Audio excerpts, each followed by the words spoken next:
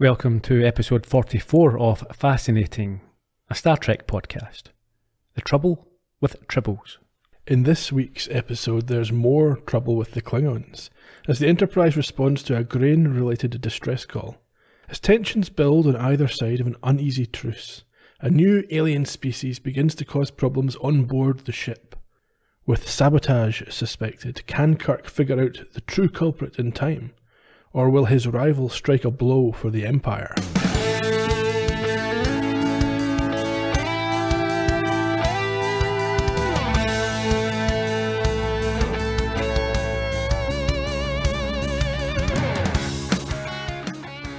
Where I come from, that's soda pop. Now, this is a drink for a man. Scotch Aye. was invented by a little old lady from Leningrad. Good afternoon, Iain. How are you? I'm not too bad, Gerry. How are you today? Full of scotch. As usual. Gets you through the day. There's nothing else I can be. How are things? Not too bad at all. You enjoy this one?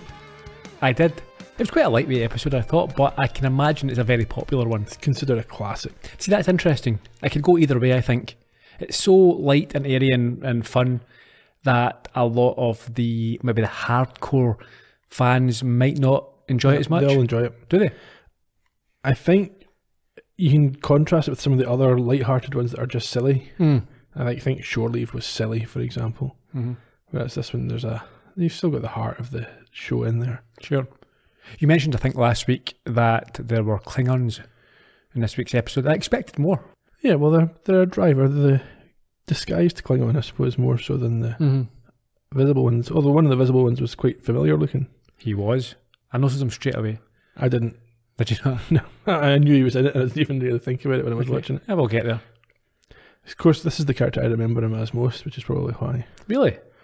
Yeah, he, he comes back in Deep Space Nine, plays the same character again. Okay. He wasn't in it that much this week. His previous incarnation, he was front and centre. That's true, but there's a bit of a mythos built up around the character. Right. Shall we get into this? Let's crack on. We begin in the briefing room. Yeah. Where are they on their way to? They're well, I don't think they're on their way anywhere. They're patrolling near Klingon space. They talk about K7 space station, but I don't think that's their destination at this point. Okay. That's, I thought that's where they were going, but anyway. No, they, I think they just talk about it, and then Chekhov makes a joke about how close they get to Klingon space that Spock decides, I think, for his own amusement, to pull him up on. Mm. Yeah, they're testing Chekhov on his knowledge. Yeah, he's being a bit immature. Why? He talks about being close enough to Klingon space to smell them, and Spock says it's a very poor joke. Or a very small joke, I think he says. Yeah, he doesn't appreciate the quip. Kirk then turns his attention to Spock and asks for a history of the quadrant. What's he told? He Tells him about the disputed area. Uh, we we looked at this a wee bit back when we had the first episode of the Klingons. There's a dispute over certain planets. The Organians came into it in there. And we get a mention here of the Organian peace treaty in a couple of minutes, which is a reference back to that episode. Spock tells Kirk about another planet, Sherman's planet, which is an unusual name for a planet. Yeah, I must admit, it annoyed me, the use of it through the episode, Sherman's Planet. especially when they name the person who first discovered it and he's not called Sherman. Anyhow, Spock reckons the Federation has the stronger claim to this planet, though he's maybe biased. Possibly, yeah. Chekhov claims that uh, a Russian was the first to map the area, but is quickly corrected on this by both Kirk and Spock. They both know it was a Brit called John Burke. Now, I think this might be a little bit unfair on Chekhov. It's almost as if there is. I've noted it a few times now where they use Chekhov's claims that everything was invented. And we heard a bit in, in the clip uh, at the top of the show where they, they mock him claiming everything comes from from Russia, was invented or originated there. And I get the feeling that this is a little bit of reverse propaganda that the show has. It's like they're laughing at him claiming everything comes from Russia, but I'm not always convinced that it's, they're not playing the same trick on themselves.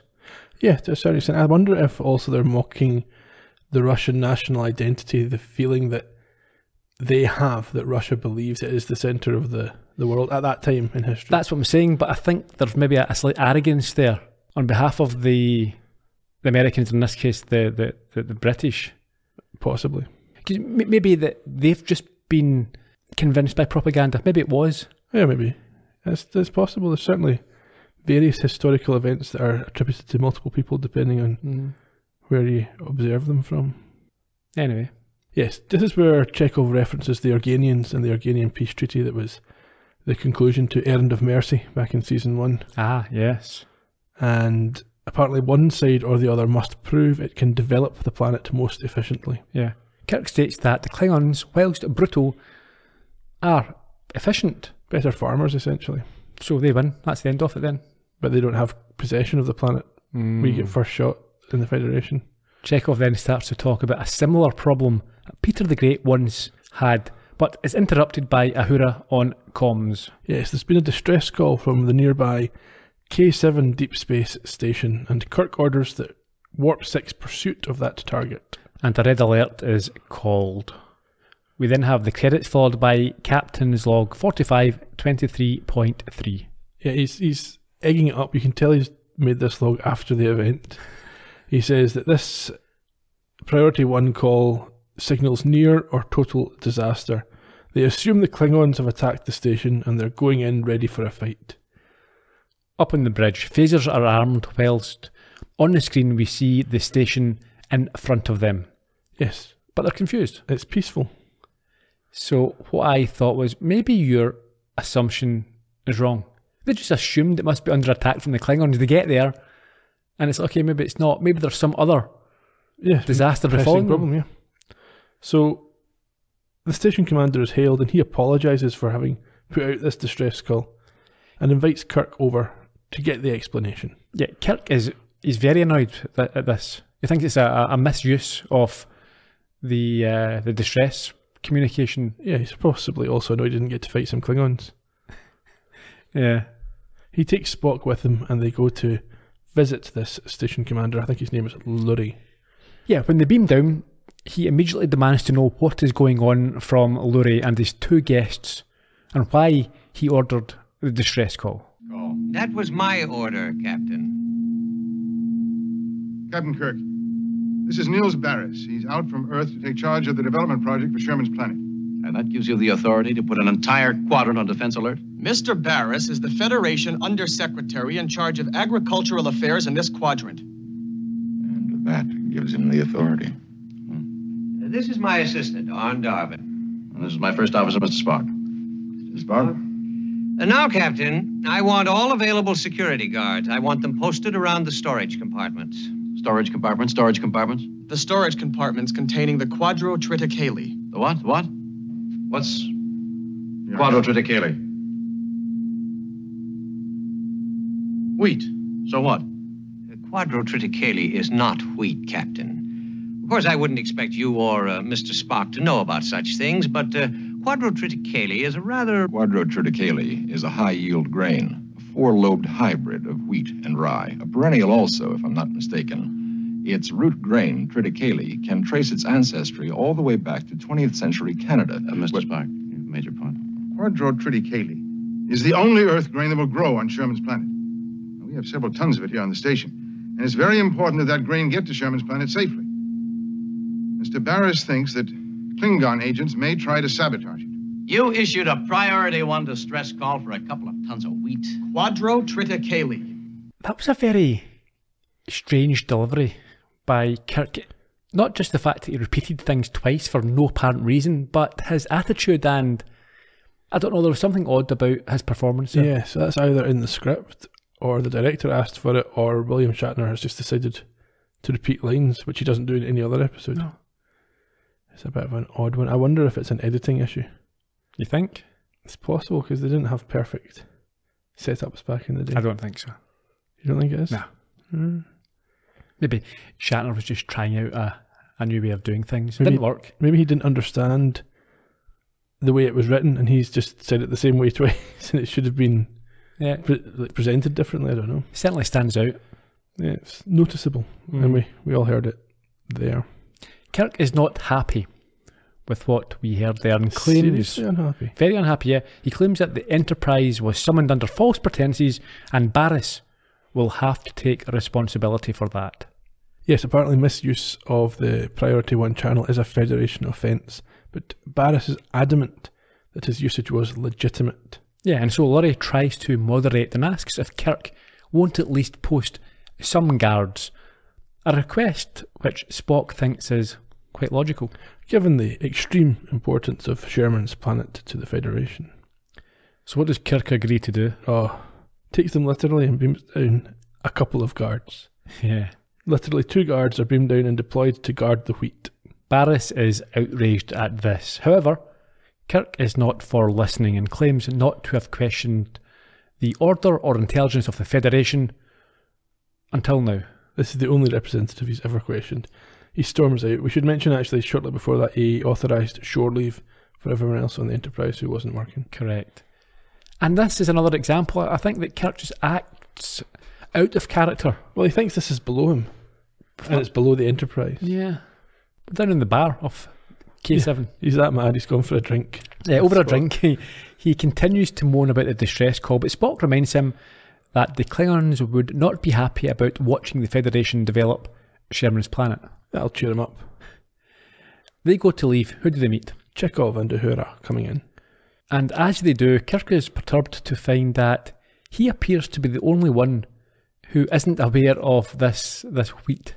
Yes, he's also a bit sarcastic about them taking their shore leave that he authorised. Yeah, And Uhura points out that last time everyone had shore leave, she didn't get to leave the ship. true. Chekhov, he's able to immediately identify the, the stuff as for what it is. And again, he claims it's a, a Russian invention. And I think this, uh, yeah, just to reiterate, I think this is a, a continual piece of propaganda that the show puts out. It's overdone, in It my is. opinion, especially in this episode. While they're having this conversation, a large man, who we later learn is Cyrano Jones, enters the bar. He offers an uninterested barman some Antarian glow water. You get the impression that this barman has purchased from Mr. Jones previously and not been satisfied. Yeah. He's a, a Del Boy type. Eh, Harry Mudd type. Indeed. Uhura, however, is taken with his next offering. Yes, it's a little ball of fur that makes pigeon noises, Yeah, known as a tribble or, uh, as I noted, a gremlin. potentially. Hmm. As long as you don't feed it, it will be fine. They won't, surely they won't feed it. Well, you wouldn't think so. Uhura is almost seduced by the positive reaction she gets from the tribble. It kind of coos at her. Yeah, I can understand why some people might find it charming and cuddly and cute. She tries to cut in on the negotiation with the barman, who instead closes the deal with Jones, who then undermines him by giving Uhura the sample for free. Yeah, well, he rightly says that she will be a, a great marketing asset. No doubt. We're back on the Enterprise, I think the briefing room. Is that right? Well, before that, uh, Chekhov makes a note that the tribble that they've got there is eating the sample of grain that he's holding. That's true, yes. Well worth noting. Hmm. Up in the briefing room, Spock and Kirk get a visual communication from Admiral Fitzpatrick from Starfleet Command. They do. Kirk is reminded of the importance of Sherman's planet and is ordered to protect the grain. Yeah, this is a bit of a, an arse kicking for Kirk. Yeah, it goes against the grain for him. Hmm. Uhura, at this point, urgently advises that they are being approached rapidly by a Klingon cruiser. So a red alert is called and they head to the bridge where they find Chekhov who tells them that this battleship is sitting 100 kilometres away and then Lurie is put on visuals so that Kirk can inform him. Yes. He advises, however, that the Klingons pose no threat. Why not? Two of them are standing right beside him, including the captain of the Klingon vessel. Ah, okay. So the red alert is cancelled and Kirk and Spock beam back down. We then have a, a captain's log 4524.2. I think this is just a Recap. recap, nothing new. It just says their intentions are unknown. And in Lurie's office, there are false smiles all around as Kirk and Spock are greeted by a Klingon who looks familiar. He does, a Captain uh, Koloth. Indeed. I immediately spotted him as Trelane from. Squire of Gothos. Indeed, the yeah. eponymous hero. Well, I'm Anti-hero, Hmm, maybe. Irritant. Villain. Yeah. He assures Kirk that his intentions are peaceful and he just wants to invoke his right to shore leave on the station. Yeah, and the uh, Organian peace treaty means that they cannot be refused this. Indeed, there's that treaty again. Yeah. Lurie then takes him aside He, yes, he explains that he doesn't like it, but he has to go along with it. So Kirk turns and informs them that they can bring down up to 12 of their men, but that he will match the number in security personnel. Koloth kind of bristles at this, and they both agree that they'll try and keep things peaceful. Yeah, I think he is quite rightly annoyed. There's no uh, declaration of war, he states, at this moment in time. They should that be able comes to. up every time we see the Klingons, isn't it? Mhm. It's like you're not at war with us. Why do you keep treating us like we're your enemy? I've got a point. Yeah. Anyway, he departs. Yes. Up on the Enterprise in the rec room, we see Scotty relaxing, reading a technical manual, which Kirk mocks him for. Does he? Yeah. What did he say? Just takes the mickey out of him for reading a technical manual as relaxation. Okay. Uhura's Tribble has drawn a crowd, both of uh, crewmen and of other Tribbles. Yeah, they have bred considerably overnight. These are definitely gremlins. It could be. McCoy's certainly curious, and Kirk has a couple of questions. I'm sure he does now. I think this is a, at the point where we should discuss Uhura's responsibility in this entire mess. This is, this is ridiculous. You can't go to a foreign planet, pick up some sort of creature and take it back. There must be rules and policies in place. You cannot go to another country and just now on Earth. Well, Yeah. certainly just now, you can't even do it with a person. But if you take a dog somewhere, you have to quarantine because you don't know what it's going to bring in. Surely in space, they must have learned their lesson. You can't pick up a creature you know nothing about and take it back to a, a, a confined space. I like to think that everything gets scanned when it's being It transported. doesn't. Yeah, well, obviously it doesn't. Get- And even if it does get scanned, it doesn't make any difference because they, uh, they haven't been able to pick this up. You cannot pi- bring in strange creatures, Uhura. That's a, a nonsense. And Kirk as well has to take, and McCoy have to take responsibility for this. Why did they not immediately uh, send them back or get them uh, transported off the ship? Like, or at least uh, taken to a lab and monitored. yeah. But I mean, Uhura, I don't know what she's thinking. In a bar, picking up, uh, buying a, a, a random creature from a, a guy in a bar. You think that's you think that's best practice? You think that's professional? Idiot. Questionable behaviour. Well, she almost brought down the entire ship. But we maybe get an explanation from Spock here, who notes that this creature has a tranquilizing effect on humans. So does uh, lots of different types of drugs. Doesn't mean to say you can, you, you know, that's a you can That- use them. That might lead to the poor decision making that people have demonstrated, and we also see it having the same effect on Spock himself. Yeah, it might do, but that's not the point, is it? It's like so does um, drinking alcohol, but you can't use that. Oh, I'm sorry, I know I made that really bad decision, but I was drunk. oh yeah, well, well, that's okay then. Yeah, but you would know that the alcohol was going to make you drunk, whereas you didn't know that this creature was going to affect your decision making. Yeah. Anyhow, Spock and Kirk leave, and McCoy borrows a tribble from Uhura to examine in his lab, promising not to harm it. Yeah, she doesn't seem that bothered as long as she doesn't know about it. Yeah, and then an instant, I think Freeman um, gets uh, one of the children or child tribbles for free. And then they all pile in and, and, and grab one. Yeah. Out in the corridor, Kirk takes communication from an angry Barris complaining about the Klingons on K7. But Atechi Kirk points out that the guards are there at the request of Starfleet before he heads down to sickbay. He's got sorted. He has. McCoy gives him something for this. Yes, and Kirk notes that the tribble that Bones took is now many tribbles. Yeah, I think he has a 11 of them, although he hasn't yet worked out how they do it. No. McCoy thinks that. Sorry, sorry, that just reminds me of uh, Fletch Lives. And speaking of Fletch Lives, today Hal Holbrook died. You've just dated our podcast. It doesn't matter. Okay. Fletch Lives, yeah. There, uh, there's a scene where Fletch dresses up as a a bug inspector to get into a place, and he lifts up a pretend invisible little mite and puts it to the the guard's ear and tells him that they breed by masturbation, and it accidentally drops into his ear.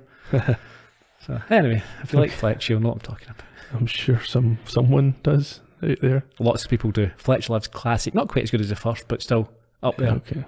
McCoy notes that half the tribble's metabolism is set up for reproduction, and Kirk can only recommend that he opens a maternity ward.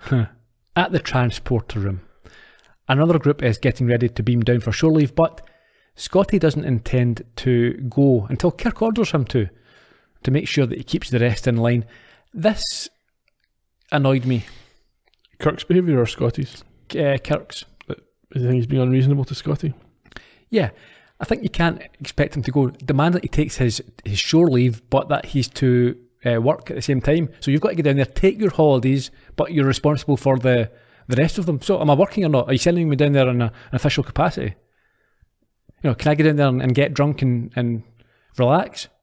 It's not shore leave then. It's more like yeah, you can go down and relax, but I trust you to be the responsible one. No, but you're, you're not at that point. I'm off duty. I'm not being responsible. I might get, I might be really irresponsible and get blind drunk and uh, pass out for a few days. So I'm not. Do you want me to be responsible for No. them or not? You pay me to No, to work. You're not getting paid, but you're on duty. Yeah, I didn't like that.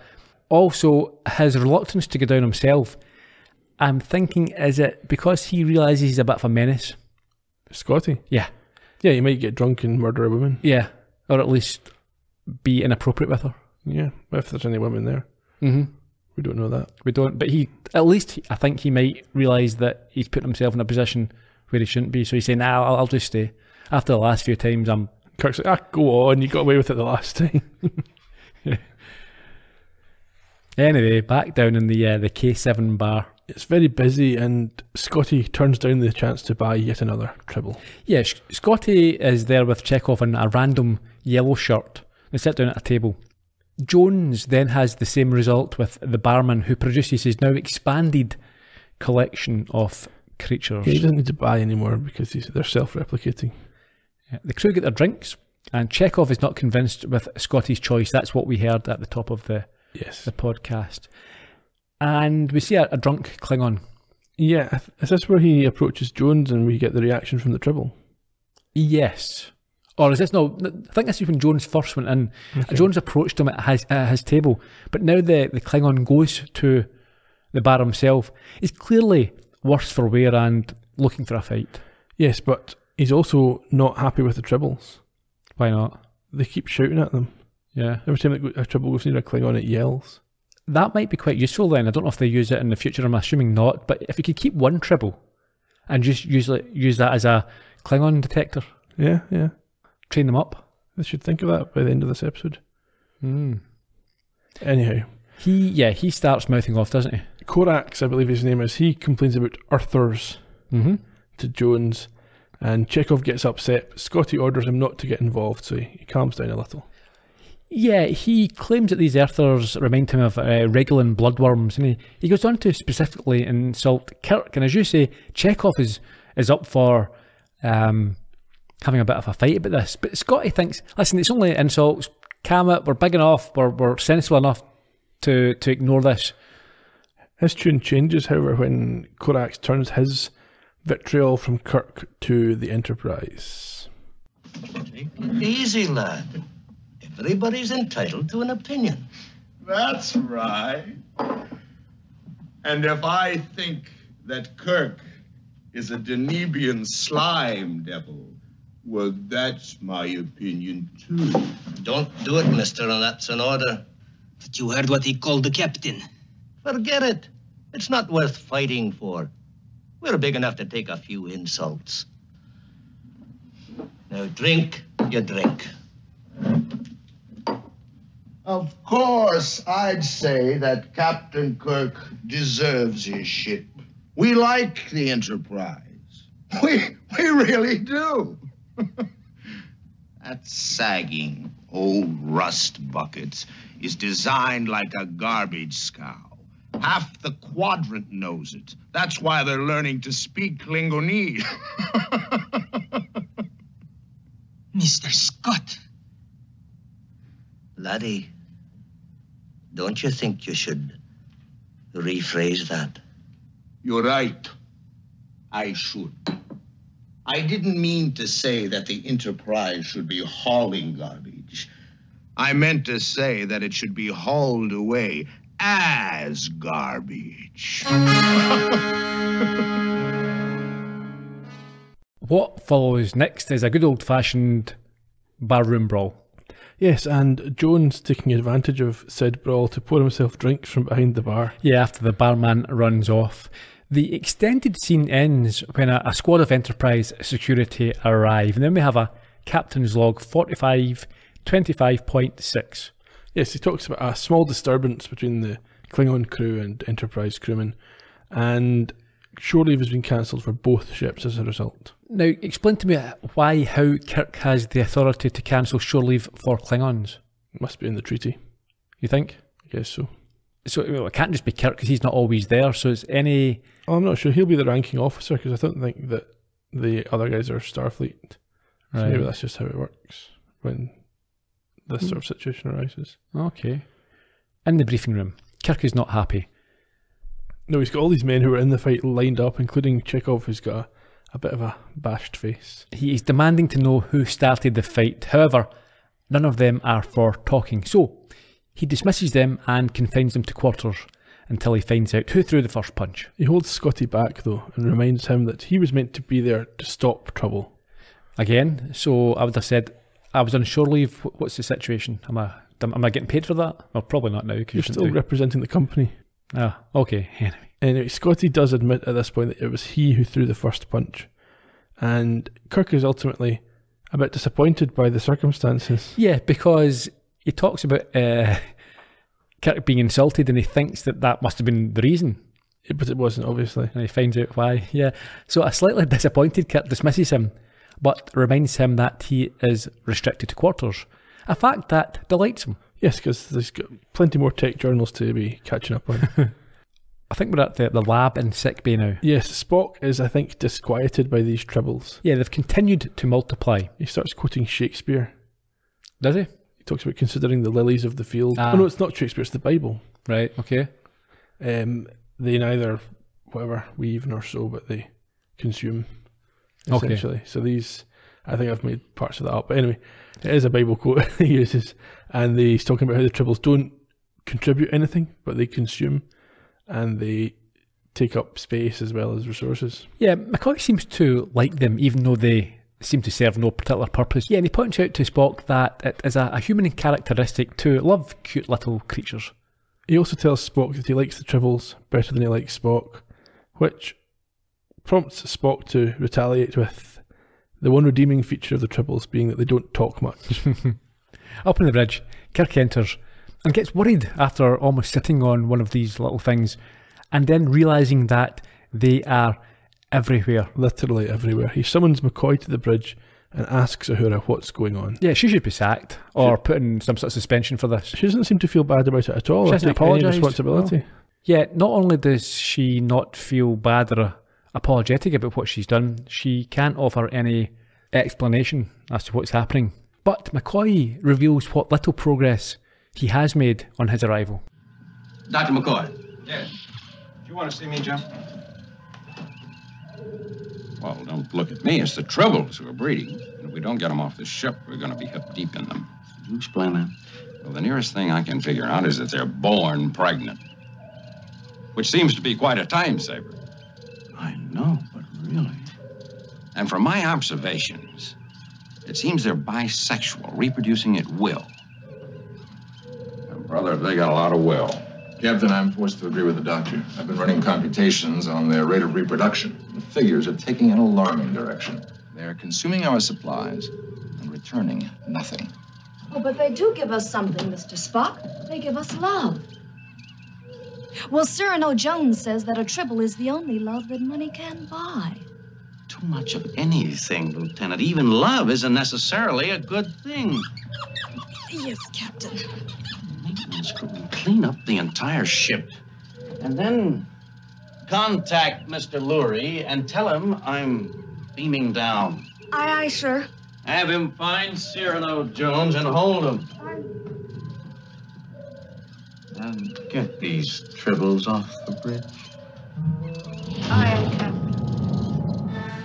I'm assuming McCoy wasn't using the modern meaning of bisexual. No, I think he means that the tribbles either are both sexes at the same time or can be either sex at different times. Sure. Down in Lurie's office, Jones is trying to plead his innocence and claims not to have known the consequences of taking the tribbles from their natural habitat. Yes, he points out that breeding animals is not against regulations when they're not dangerous. And it's his only way of making money. He decides to leave, and as he tries to do so, we see Barris and Darvin arrive. Yeah, who proceeds to slate Kirk for the perceived lack of security. He believes that Cyrano Jones is a Klingon agent.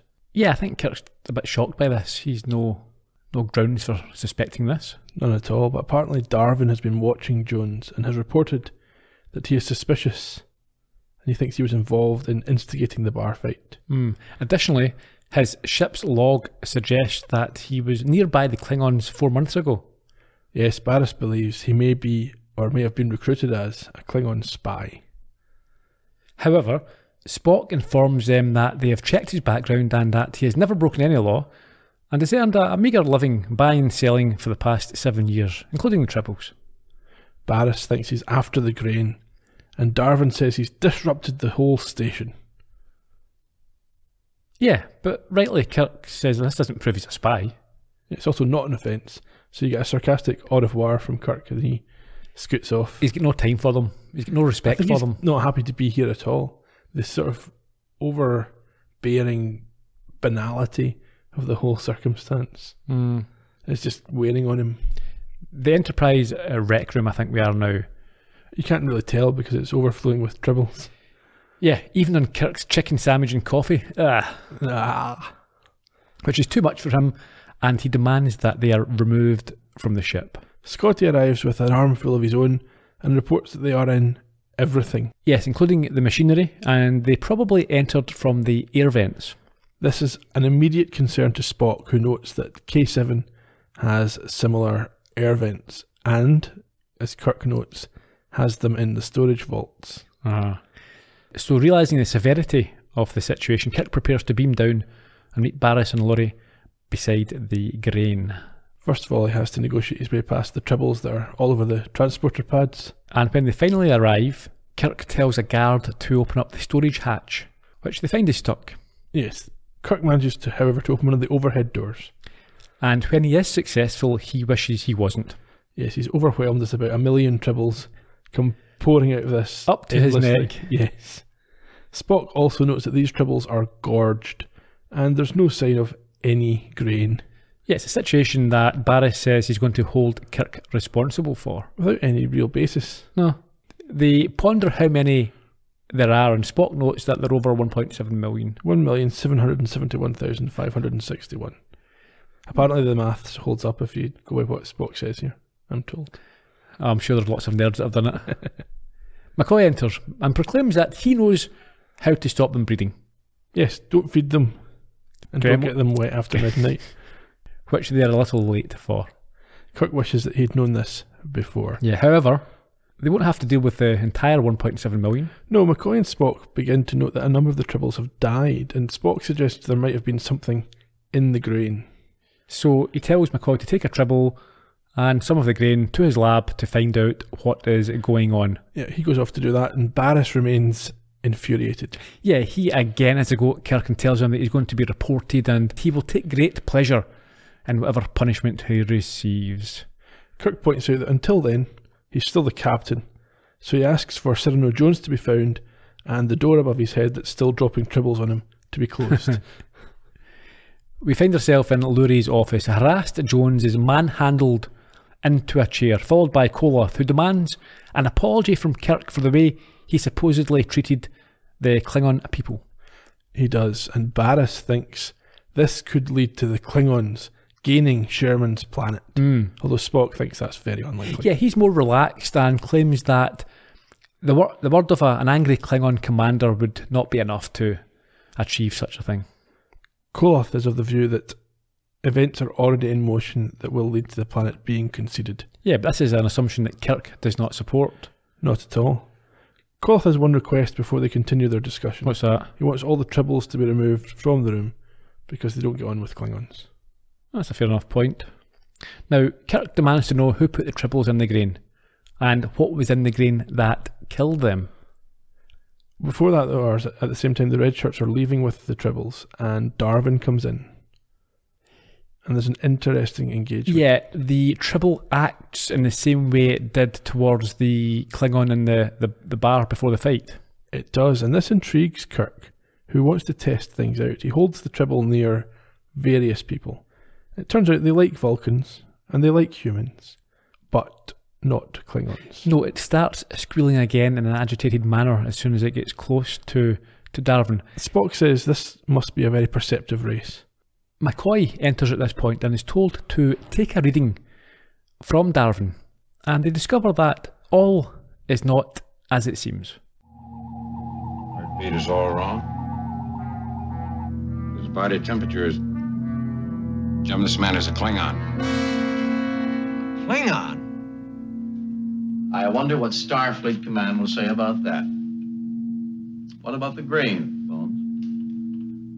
Oh, yes, it was poisoned. Poisoned? Yes, it's been impregnated with a virus. The virus turns into an inert material in the bloodstream, and the more the organism eats, the more inert matter is built up. So, after two or three days, it would reach a point of where they couldn't take in enough nourishment to survive. They starve to death in a storage compartment full of grain. They starve to death. That is essentially it.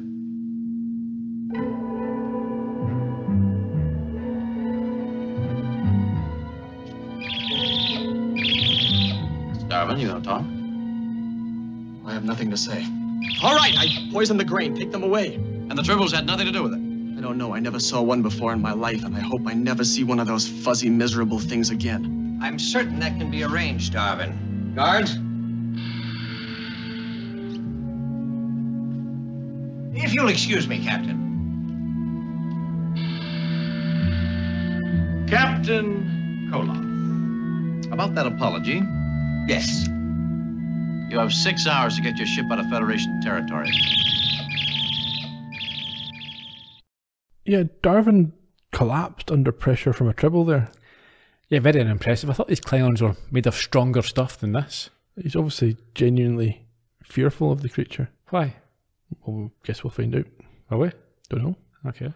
So with the Klingons gone, Kirk claims that he could get to light tribbles. He's grown into, you know, he's gone from being generally irritated to supremely smug Mm-hmm. because not only is he not responsible for any of the problems, his actions have actually saved the planet for the Federation. Very, very lucky. Uhura, very lucky. Yeah. Back down in the bar. Jones is expecting he is now free to go with everything having worked out. But Spock reminds him that the penalty for transporting animals dangerous to human life is 20 years of hard time. Rehabilitation. Mm, not rehabilitation, hard time. Okay. Breaking rocks. Jones tries to negotiate his way out of this as the Tribbles did indeed save the planet from the poisoned grain and tipped them off about the Klingon agent. So he is offered a deal. Yes, if he can remove every tribble from the station, he can have his ship back and leave. That sounds fair enough. However, this will take 17.9 years. Ah.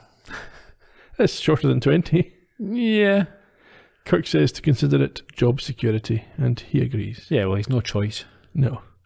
Is that 17.9 years working continuously, or is he allowed to go to bed? Well, that's it, yeah. I hmm. mean, if it's working continuously, that's going to be, what, 50, 30, 50? 40, yeah, 50 years.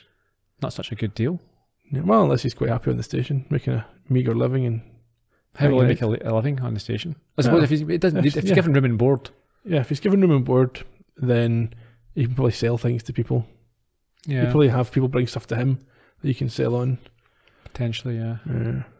Back up in the bridge. Yes, Spock reports that a freighter with Quadrotriticale has been diverted, and Sherman's planet will get its untainted supply just a few weeks late.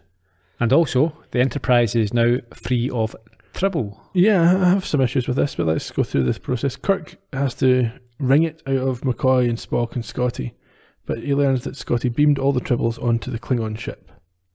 Yeah, just before they hit warp speed. They all laugh and then on to next adventure. So what's your issue with that?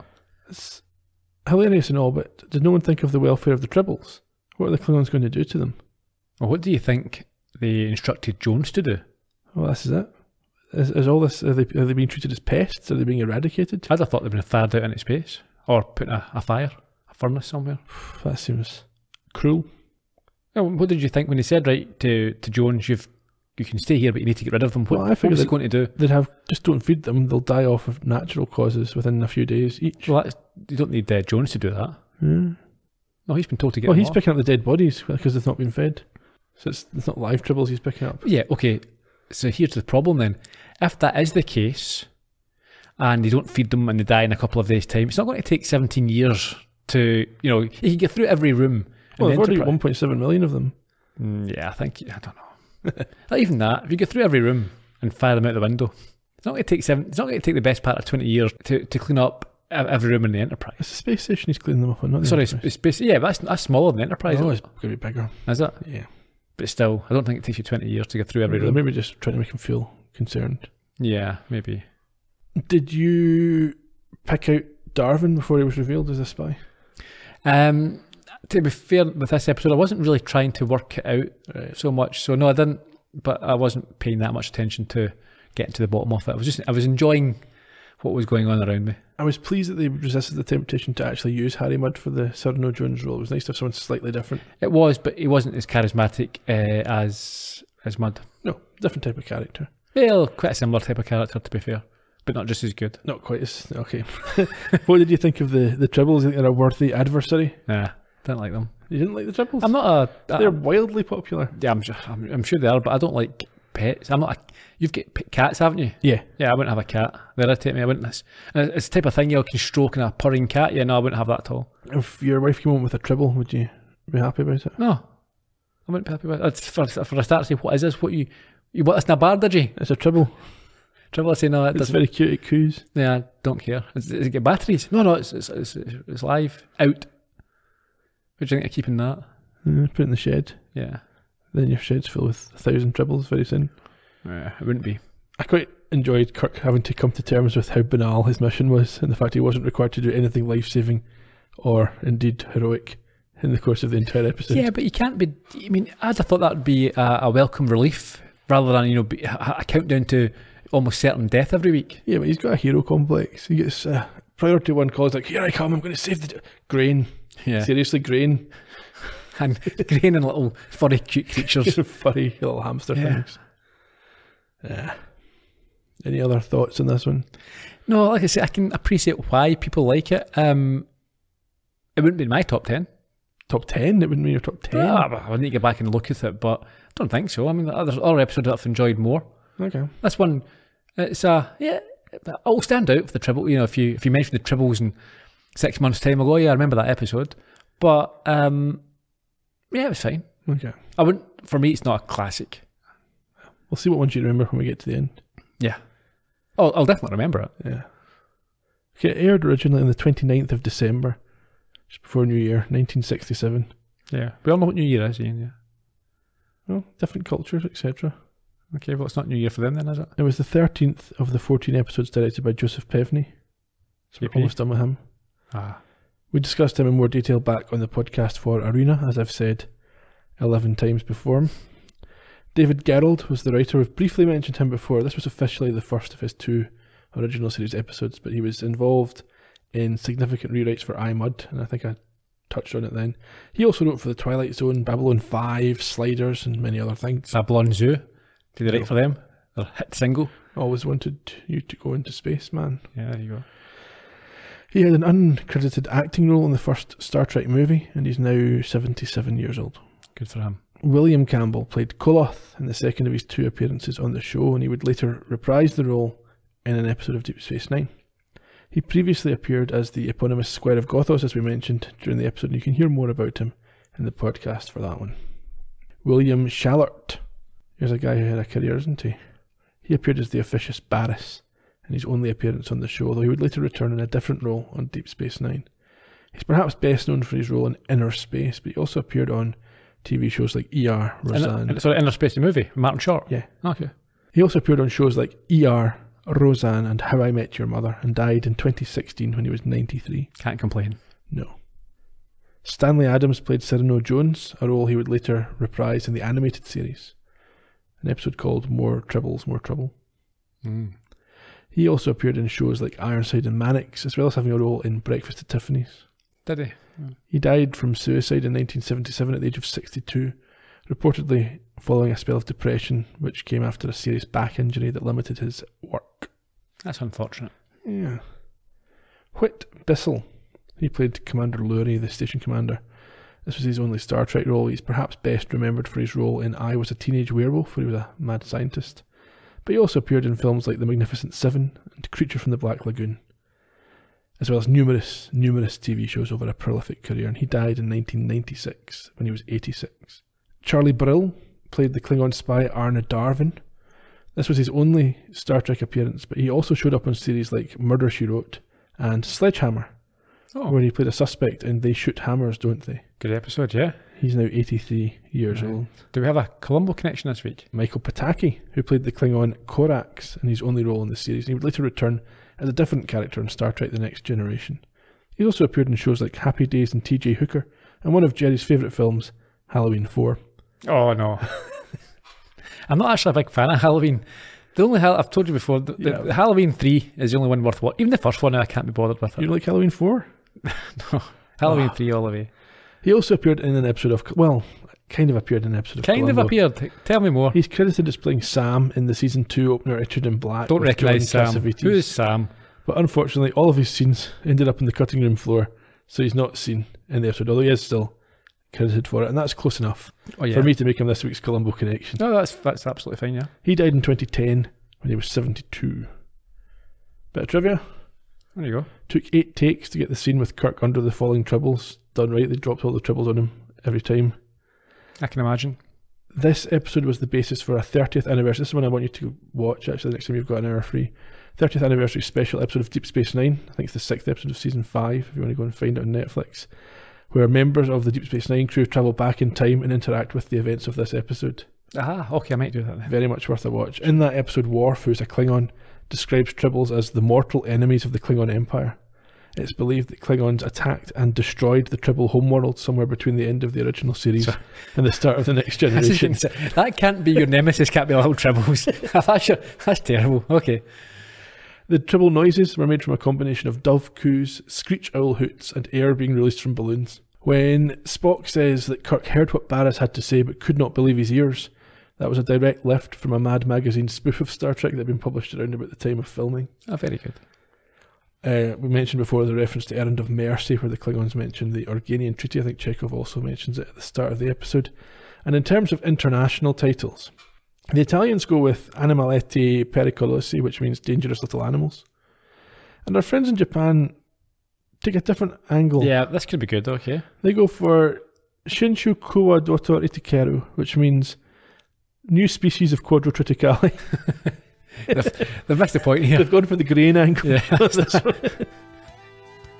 Uh, and that's that's all the interesting translations. So next week, 16th episode of season two, the Gamesters of Triskelion, which sounds relatively light-hearted. Yeah, it does. Until then, you can find us all over social media where we're at Trek Podcast on Facebook, Twitter, and Instagram. And if you go to ah, StarTrekPodcast.com, there's a post up for every show where you can leave your thoughts, your reminiscences, and your complaints. Until then, Cheerio. bye bye.